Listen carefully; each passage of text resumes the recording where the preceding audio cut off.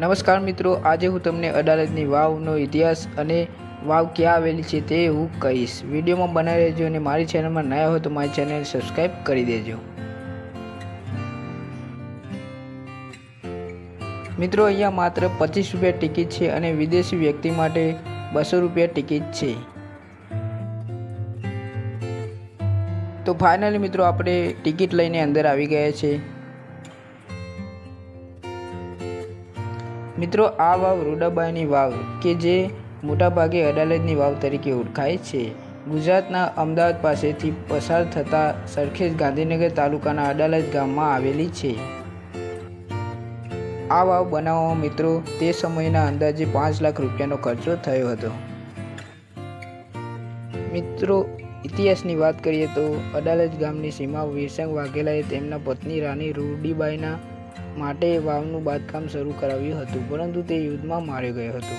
વીરસંગના મૃત્યુ પછી વાવનું બાંધકામ અટકી પડેલું હતું.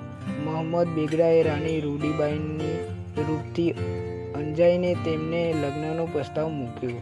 રાણી રૂડીબાઈએ શરત રાખી કે જે મોહમ્મદ વાવનું કામ પૂર્ણ કરાવશે, તો તે તેની સાથે લગ્ન કરશે.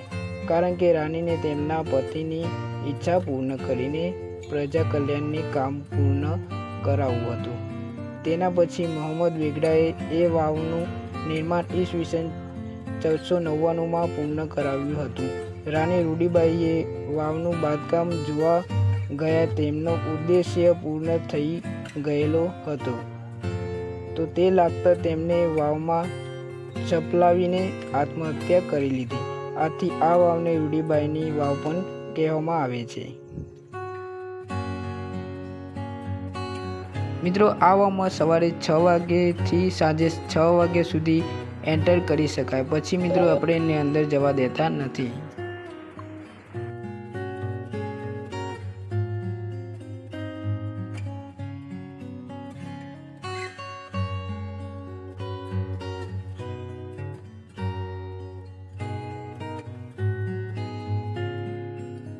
મિત્રો, તમે અહીંયા જોઈ શકો છો કેટલું મસ્ત ચિત્રકામ કરવામાં આવ્યું છે અને કેટલું મસ્ત વાવ બનાવવામાં આવેલી છે.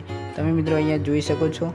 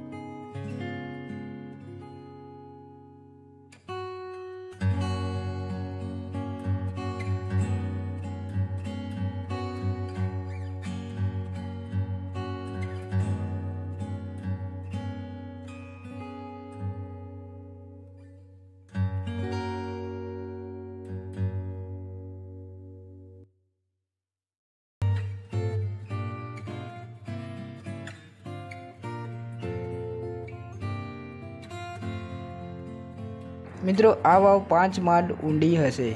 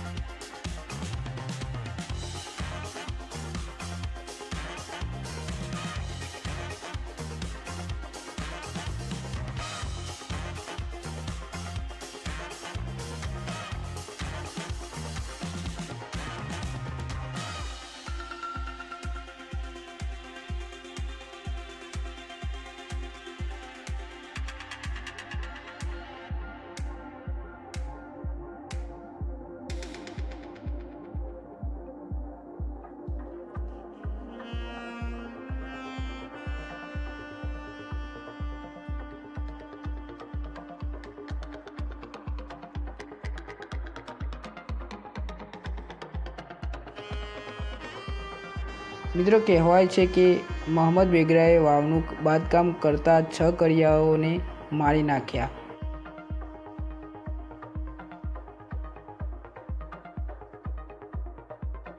મિત્રો તમે અહીંયા જોઈ શકો છો બહારથી પણ કેટલું મસ્ત સૌંદર્ય આપણને દેખાઈ રહ્યું છે. તમે જોઈ શકો છો અહીંયા આજુબાજુમાં બગીચા પણ આપણને જોવા મળે છે.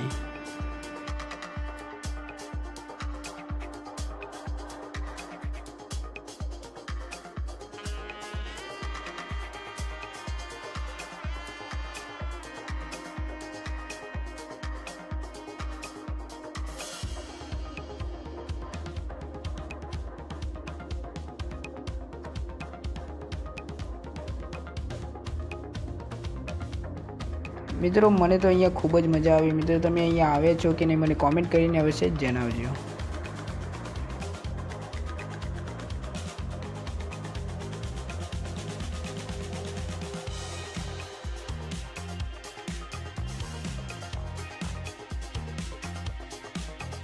મિત્રો, અહીંયા પાણી પીવાની પણ સુવિધા મળી રહે છે.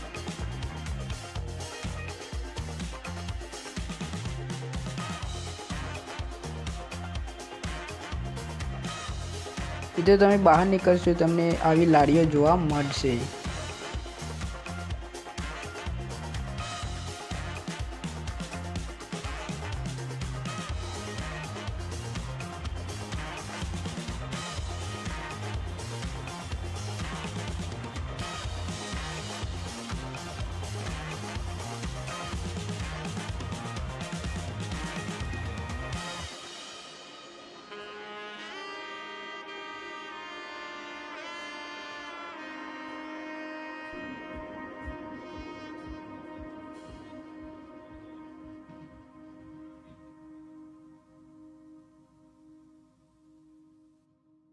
તો વીડિયો પસંદ આવ્યો તો મારી ચેનલ લાઇક કોમેન્ટ, સબસ્ક્રાઈબ કરી દેજો. મળી એક નવા વીડિયો સાથે.